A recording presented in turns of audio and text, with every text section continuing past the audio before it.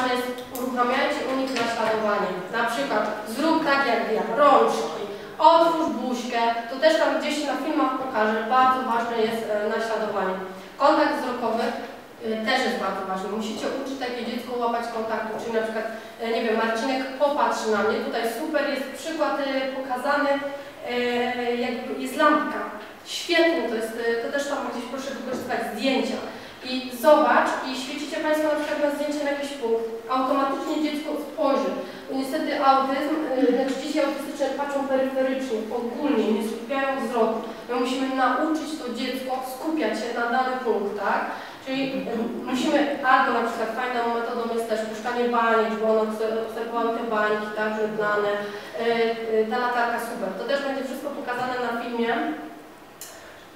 Ważną, kolejną ważną, ważnym elementem jest zabawa. Te dzieci nie potrafią.